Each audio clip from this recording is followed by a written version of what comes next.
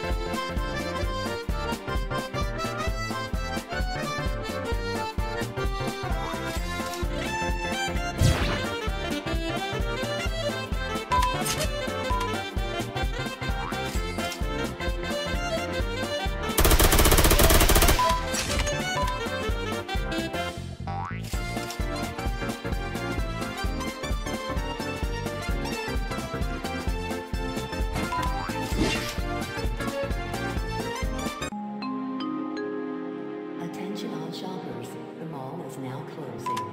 Thank you for shopping at the Roblox Mall.